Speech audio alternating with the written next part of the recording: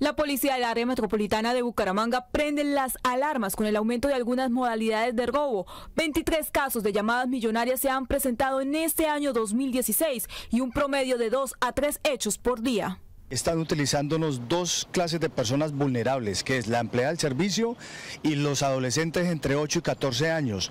Los llaman y en la, actividad que le hacen de llamada intimidan de que su padre, su madre están siendo detenidos en la fiscalía y que requieren inmediatamente plata y les hacen sacar lo que ellos tienen identificando los sitios exactamente donde tienen el dinero, las joyas.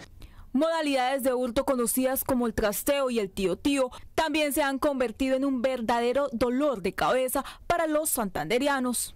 Eh, simulan de que va a llegar un trasteo y en el trasteo va unos elementos que tienen un valor pero que necesitan que lo reciban y que es de propiedades del, del, dueño del apartamento o la casa. El segundo, simulan ser un familiar, le llamamos el tío tío. Entonces dicen, somos un familiar de su, del padre del dueño de la casa y por ahí se le meten. Y el tercero es el premio. Se han ganado un premio, un vehículo, un viaje y logran también eh, incautamente hacer caer a la persona.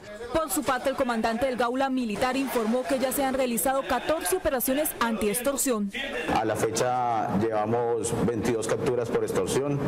Eh, asimismo tenemos otras denuncias como es el, el secuestro, el secuestro simple, especialmente de menores de edad, de esta, situación o de, de procesos que hemos llevado del secuestro extorsivo de algunos casos del año pasado, asimismo también llevamos a la fecha, el año 2016, llevamos cuatro capturas.